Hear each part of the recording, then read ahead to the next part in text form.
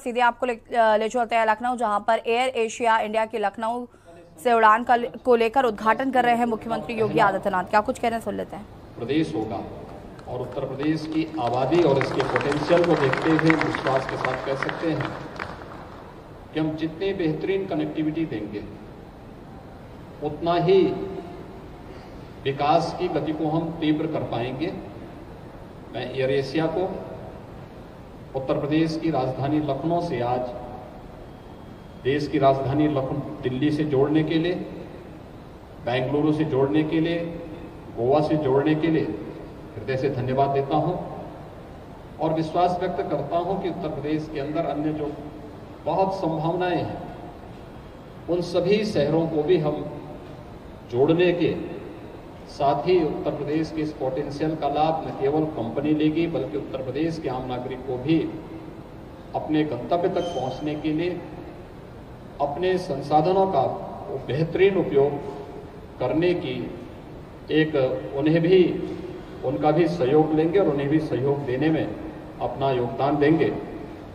मैं साथ ही साथ इस बारे में भी कहना चाहूँगा कि उत्तर प्रदेश सरकार अपनी चाहे सड़क इंफ्रास्ट्रक्चर के लिए एक्सप्रेस वेज के रूप में हो, या फिर रेल कनेक्टिविटी को और बेहतरीन बनवाने के लिए।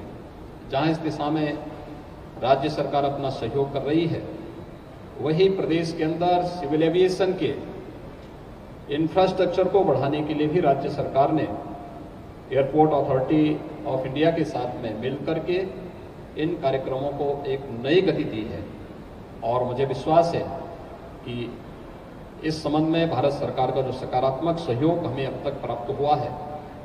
ऐसे ही आने वाले समय में देश की सबसे बड़ी आबादी के राज्य को इसी प्रकार से एक सकारात्मक सहयोग भारत सरकार के नागर विमानन मंत्रालय के द्वारा प्राप्त होगा और राज्य सरकार का पूरा सकारात्मक सहयोग उत्तर प्रदेश की कनेक्टिविटी को और भी बेहतरीन बनाने के लिए होगा।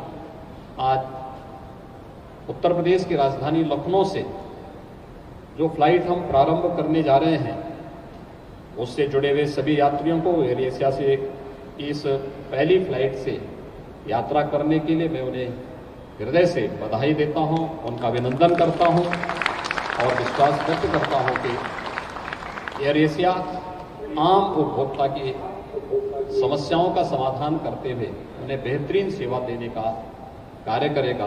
आप सबके इस पूरे आयोजन के प्रति मेरी शुभकामनाएँ। धन्यवाद। जय हिंद।